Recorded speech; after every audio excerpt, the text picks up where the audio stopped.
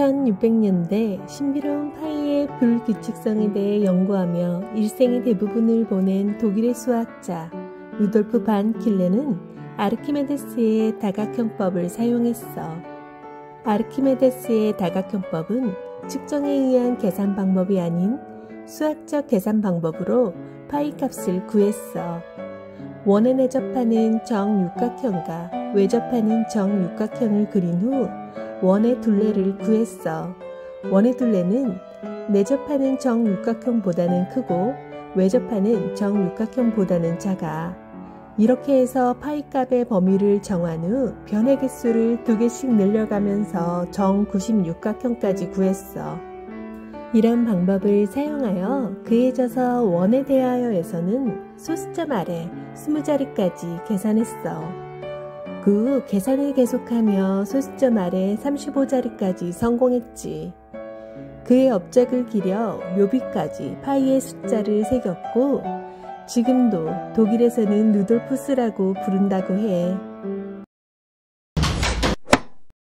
1699년 영국의 수학자이자 천문학자인 에이브라함 샤프는 영국 최초 천문학자 플램스티드에게 인정을 받아 그리니치 왕립 천문대에 들어갔지.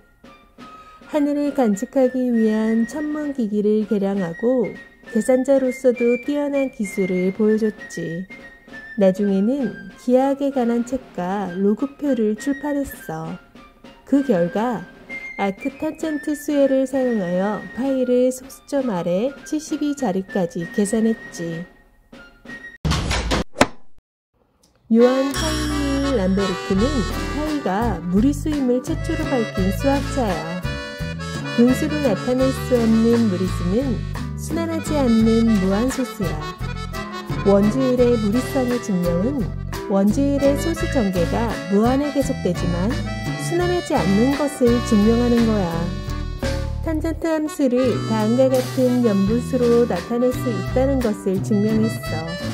연분수가 0이 아닌 미리수일 때 x가 무리수가 된다는 사실도 알아냈지. 그런데 파이의 무리수성에 대한 최초의 증명이라 할 수 있지만 지금의 증명법과 비교하면 난해했지. 190년이 리벤의 증명으로 파이를 무리수라고 쉽게 알 수 있게 됐어.